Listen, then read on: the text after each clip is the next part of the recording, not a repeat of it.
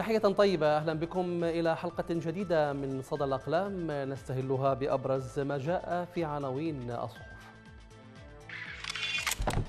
في صحيفة المدى الصحة تسجل 37 أو 20 إصابة بفيروس كورونا. العرب اللندنية تقول بغداد وواشنطن حوار استراتيجي أجوف تقوده حكومة شبح. أما في القدس العربي لبنان ناشطو ثورة الجياع يقطعون الطرقات من جديد. وفي عربي 21 واشنطن ترفض تنصيب حفتر لنفسه حاكما لليبيا. الشرق الأوسط التحالف يشدد على عودة الأوضاع في عدن وتنفيذ اتفاق الرياض فوراً. وإلى واشنطن بوست ترامب تلقى تحذيرات متكررة بشأن كورونا اعتبارا من شهر كانون الثاني. أما في إيكونومست في عصر ما بعد كورونا أولويات الحكومات خبز أكثر وسلاح أقل.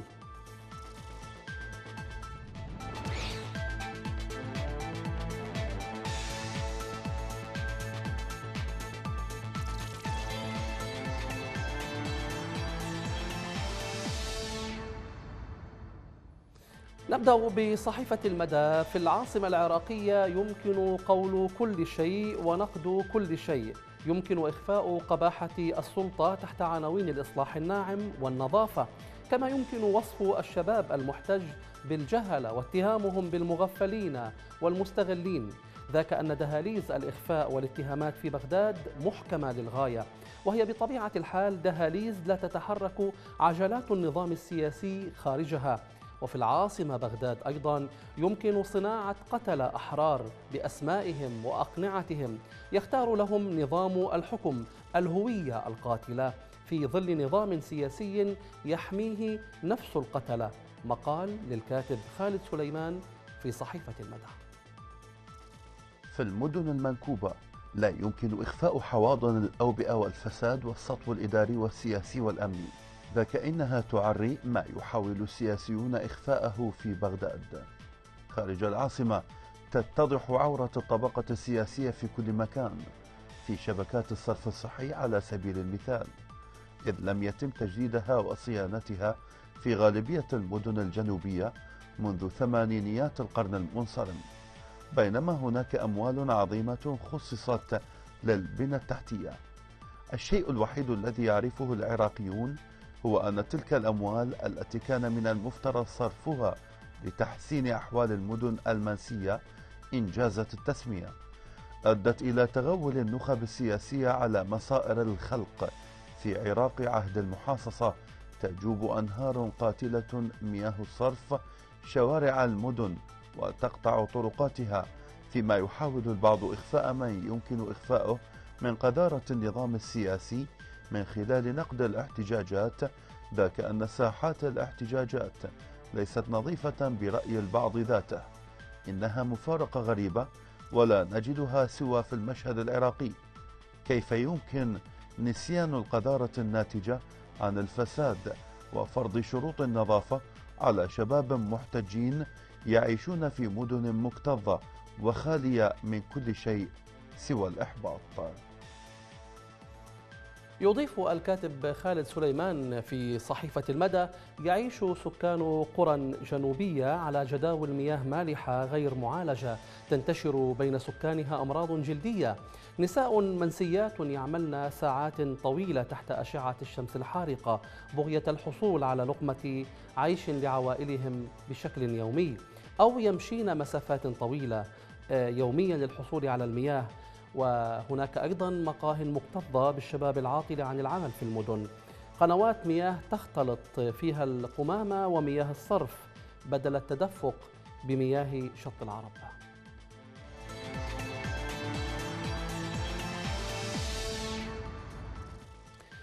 في القدس العربي ما ساعد على انخفاض الثقة بصدق وأخلاقية المتحدثين الرسميين أيضا سياسة تكميم أفواه الصحفيين إذا ما حدث ومس أحدهم عصبا حيا في جسد أحد المسؤولين الحكوميين أو قادة الميليشيات أو من يتمتعون بالعصمة الدينية.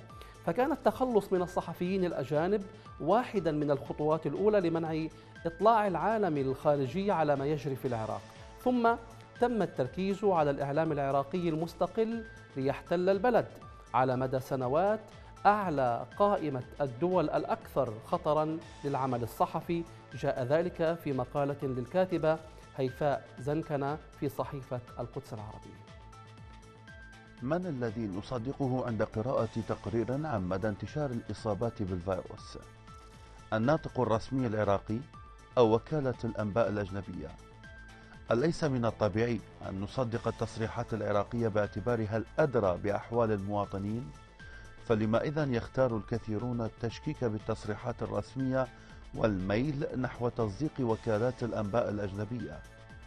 السبب الرئيسي هو تجذر الإحساس بعدم الثقة تجاه كل ما يقوم به النظام ويصرح به في عديد المجالات السياسية والاقتصادية والعسكرية والثقافية وانعكس سلبا على الجانب الصحي والتعليمي وهو إحساس قديم تنامى بشكل متسارع بعد غزو واحتلال البلاد في عام 2003 إذ ازدادت الهوة ما بين ما هو منجز وما يصرح به بشكل هائل وباتت منصات التصريحات الحكومية أماكن لإطلاق الأكاذيب المفضوحة خاصة بعد أن أصبح الساسة ينطقون بأصوات سيدهم المحتل واختلطت التصريحات الحكومية. ينشغل مسؤولو وزارة الصحة بمناصبهم الموزعة ضمن المحاصصة الطائفية السياسية بتوقيع عقود مستشفيات لا تكتمل واستيراد أدوية ومعدات وهمية تفاصيل الفساد المعلب بالتضليل والأكاذيب. هي التي تدفع المواطن إلى الشك بما يقدمه الناطق الرسمي من أهل بلده. ويفضل هضم وتداول الأخبار المقدمة إليه من خارج البلد. تضيف الكاتبة أيضا في صحيفة العربي أو القدس العربي حين ظهرت صحافة المواطن ومارسها ناشطون معظمهم من الشباب امتدت إليهم أيادي ميليشيات الاختطاف والقتل. خاصة منذ انبثاق الانتفاضة انتفاضة تشرين التي لا تزال مستمرة وإن بشكل محدود بناء على قرار اتخذه المنتفضون حفاظا على حياة عموم المواطنين من انتشار وباء كورونا.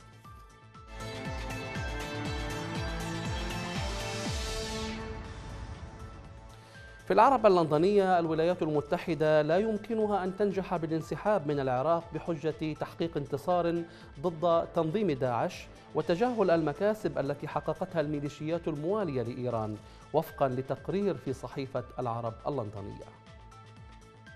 الوضع السياسي بشكل عام في العراق والحكومة بشكل خاص وهي التي يصفها كردسمان بأنها هيكل أجوف. أما الشبح الثاني هو الاقتصاد. ويجسد الأمن الشبح الثالث. يكمن أول شبح في وضع السياسة والحكم العراقي الحاليين حيث لا تتبع الحكومة العراقية مسارا واضحا يمكن من رؤية قيادة فعالة. وتبقى غير متناسقة ويسودها الفساد على كل المستويات. ويعد الافتقار إلى الحوكمة الرشيدة في العراق المشكلة الرئيسية. كما تبقى السياسة جزءا من مشاكل البلاد. وتبدو السياسة العراقية منقسمة بطريقة تعكس إخفاقات خطرة ومتنامية في بلد بحاجة ماسة وفق كردستان إلى قيادة سياسيين فاعلين على كل المستويات. ويدور العراق في نفس مربع أزمة تشكيل الحكومة منذ استقالة عادل عبد المهدي في ديسمبر عام 2019 وفي فبراير تم تكليف محمد علاوي بتشكيل الحكومة لكنه فشل في الحصول على ثقة البرلمان ليتم تكليف عدنان الزرفي في مارس لكنه لم يفز بدعم العديد من الفصائل الشيعية بما في ذلك قوات الحج الشعبي وبعض الفصائل السنية حيث شعر بعض الشيعة بأنه قريب جدا من الولايات المتحدة كما أنه عين من الرئيس العراقي برهم صالح دون أي استشارة رسمية للبرلمان العراقي ولم يمنح سوى ثلاثين يوما لتشكيل الحكومة. لم يتمكن الزرفي من تشكيل حكومة جديدة وتوجب عليه الانسحاب في أبريل وأدى هذا إلى تعيين رئيس جهاز المخابرات مصطفى الكاظمي وأذكى اختيار الكاظمي الشكوك المعتادة حول دعمه للولايات المتحدة ضد إيران حيث ساندته واشنطن بعد فترة وجيزة من اختياره. لا تنظر دراسة صدرت عن مركز الدراسات الاستراتيجية والدولية بواشنطن بتفاؤل للحوار الاستراتيجي بين واشنطن وبغداد الذي قال وزير الخارجية الأمريكي مايك بومبيو إنه من المنتظر أن ينعقد في يونيو المقبل. وحددت الدراسة عدة تحديات وعراقيل تمنع إنجاح هذا الحوار. أبرزها غياب حكومة عراقية صاحبة قرار يمكن أن تتولى دفة الحوار. هذا بالإضافة إلى التحديات الأمنية والاقتصادية التي تطرح, تطرح أسئلة لا تتعلق فقط بالحوار الاستراتيجي المرتقب بل أيضا بخطة الانسحاب الأمريكي من العراق وبمستقبل العلاقات بين البلدين في ظل وجود طرف ثالث وهو إيران.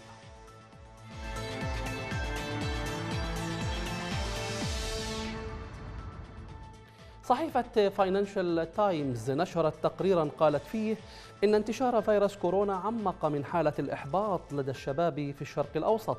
وقالت الصحيفة في التقرير ذاته الذي كتبه أندرو إنجلاند إن الوباء أوقف الاحتجاجات في العراق والجزائر ولبنان لكنه قد يؤدي مستقبلا إلى موجة جديدة من الاحتجاجات بعد انتهائه. الفيروس في الشرق الأوسط وشمال أفريقيا نجح حيث فشلت حكومات الجزائر والعراق ولبنان. فقد أوقف أشهرا من التظاهرات المضادة للحكومة.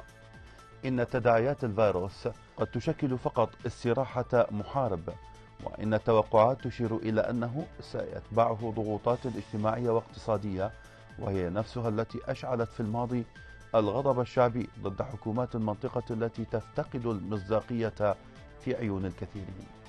وأشار التقرير إلى أنه على خلاف الدول الثرية التي تستطيع توفير مساعدات على قاعدة واسعة لمواطنيها فإن دول الشرق الأوسط ذات النسب العالية من الشباب ومعدلات البطالة المستشرية ليس لديها ذات المصادر المالية الكافية لتوفير حزم دعم التجارة وحماية الوظائف. وقالت الصحيفة إن النزاعات الدكتاتورية كانت واضحة طوال أزمة كوفيد-19 فقد طردت السلطات المصرية صحفية بريطانية. نشرت تقريرا ذكرت فيه أن أعداد المصابين بالمرض قد تكون أعلى مما تعلن عنها الحكومة كما علقت حكومة العراق وإن بشكل مؤقت تصريح عمل وكالة أنباء رويترز لنشرها تقريرا تحدث عن نفس المزاعم. كذلك اعتقل أربعة صحفيين على الأقل في منطقة كردستان حسب أرقام منظمات مراسلون بلا حدود. التقرير قال أيضا إن الفترة التي سبقت كورونا أظهر فيها المحتجون خاصة في العراق إصرارا على المواصلة ولم يقبلوا الوعود الفارغة من النخبة المصرة على حماية مصالحها.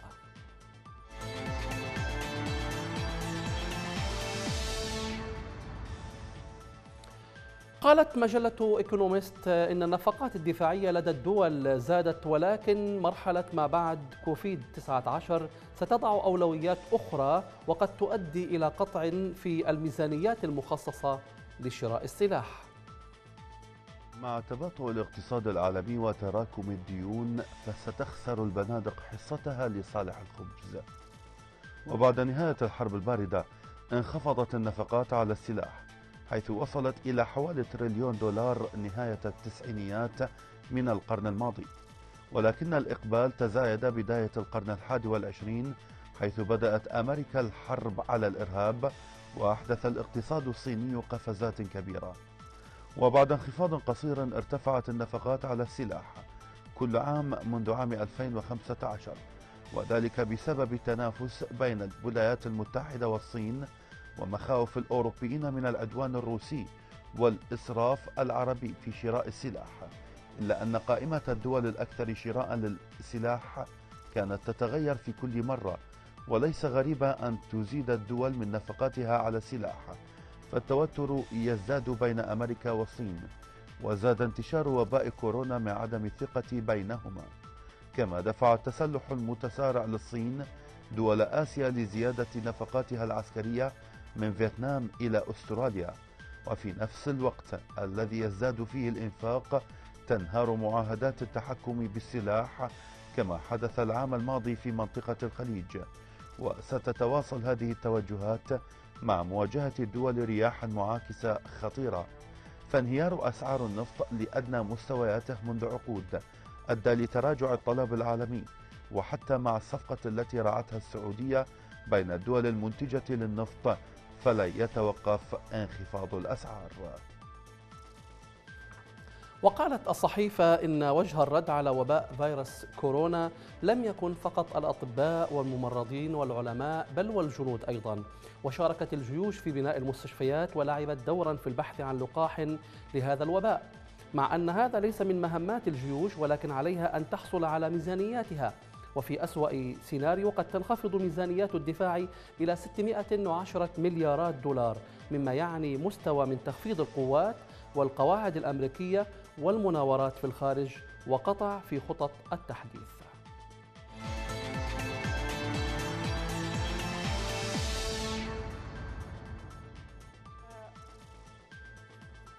إلى مجلة فورين بوليسي خمسة أشياء طرحتها. قالت إنه ينبغي معرفتها في حال وفاة زعيم كوريا الشمالية كيم جونغ أون. وقالت المجلة في تقرير لها إن الدكتاتوريات الوراثية نادرا ما دامت منذ فترة طويلة وقد يكون انهيارها في كوريا الشمالية في متناول اليد مشيرة إلى أن كيم جونغ أون لم يظهر بشكل علني. منذ خروج التقارير التي تحدثت عن خضوعه لعملية جراحية في القلب والأوعية الدموية. منذ الحرب العالمية الثانية لم تتمكن أي دكتاتورية عائلية من تمرير السلطة للمرة الثالثة معتقدة أن الوضع صعب في كوريا الشمالية نظرا لعدم وجود خليفة واضح لكيم ما يعني أن عدم الاستقرار سيولد آثارا فورية وطويلة المدى على المنطقة والمنافسة بين الولايات المتحدة والصين. بحسب المجلة فإن السمة المشتركة للدكتاتوريات الأسرية هي الانهيار السريع وغير المتوقع في كثير من الأحيان مبينة أن معظم الأنظمة الفاشلة تتفكك تماما في أقل من عام. وأفادت المجلة أن الجيش الأمريكي يخطط لسيناريوهين رئيسيين الأول يتعلق بهجوم كوريا الشمالية على جارتها الجنوبية والثاني يتعلق بانهيار كوريا الشمالية. موضحة أن الولايات المتحدة تجري تمارين مشتركة مع كوريا الجنوبية لاختبار استعدادها في هذه الحالات الطارئة. وذكرت المجلة أنه من التحديات التي تواجه الولايات المتحدة وكوريا الجنوبية هو تأمين وتدمير الأسلحة النووية والمرافق المرتبطة بها مبينة أن جزءا رئيسيا من استراتيجية مكافحة أسلحة الدمار الشامل الكورية الشمالية يتمثل في منع انتشارها خارج شبه الجزيرة ووصلها إلى جهات فاعلة جديدة. ورأت المجلة أيضا أنه إذا مات كيم فإن ذلك سيشكل تهديدا خطيرا للنظام موضحة أن الطبيعة الوراثية لحكومة كوريا الشمالية تعتمد بشكل كبير على الخلافة السلسة لزعيم جديد يكون على الأرجح أحد أفراد عائلة كيم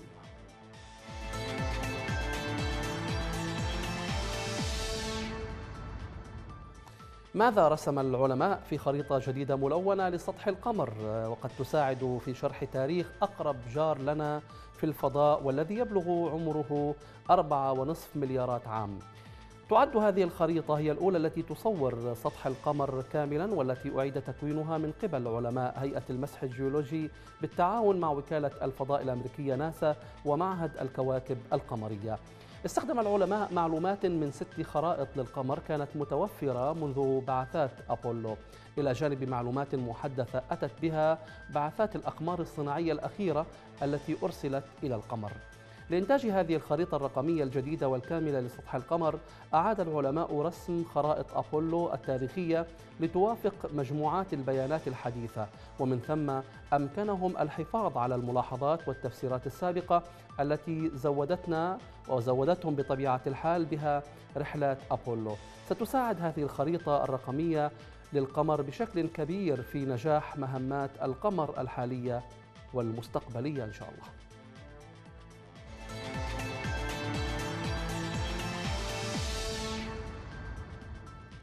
إلى أبرز ما رسم فنانو الكاريكاتير.